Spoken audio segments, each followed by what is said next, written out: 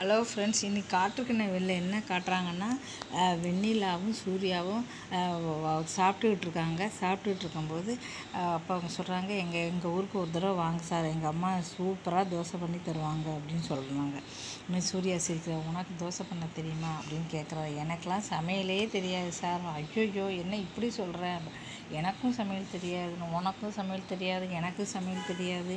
அப்படி நாம் இந்த மாதிரி எவ்வளவோ கடைகள் இருக்குது அந்த கடையில் மூணு வேலையும் வாங்கி சாப்பிட்டுக்க வேண்டியதுதான் அப்படின்னு அவர் சொல்கிற உடனே. அவர் சிரிக்கிறாரு.